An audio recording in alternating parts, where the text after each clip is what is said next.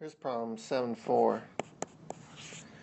A 2.5 kilogram object falls vertically downward in a viscous medium at a constant speed of 2.5 meters per second. How much work is done by the force of the viscous medium exerts on the object as it falls 80 centimeters? So let's say we have an object. It's in a viscous medium. If we did a free body diagram of this object, it would have weight equal to mg and then there will be this frictional force of the medium against its motion as it's falling. Let's call it F. And it's moving at constant velocity, so the acceleration in this case is actually equal to zero. So there is no net force on this object, which will mean that the frictional force will be equal to the weight as it's moving down in this viscous medium.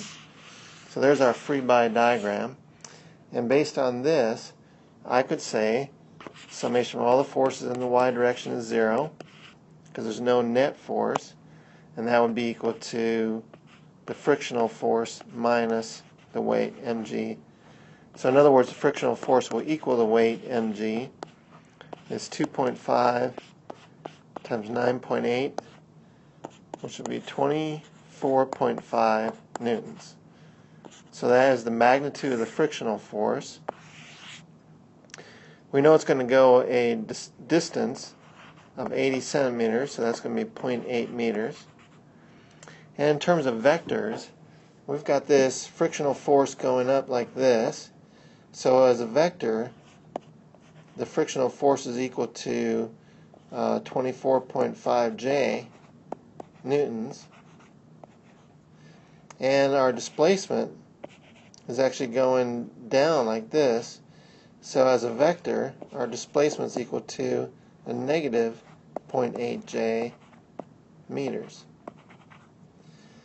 Well, by definition, work is equal to the dot product of the force times the displacement. In this case, it would be the dot product of the frictional force of the viscous medium dotted with the displacement. So that would be 24.5J dotted with a negative 0.8J. J dot with J is going to give us 1, so this will give us a negative 0.8 times 24.5. And that is a negative 19.6 newton meters or joules. So the work that the viscous medium exerts on this object as it falls uh, 0.8 meters is a negative 19.6 joules.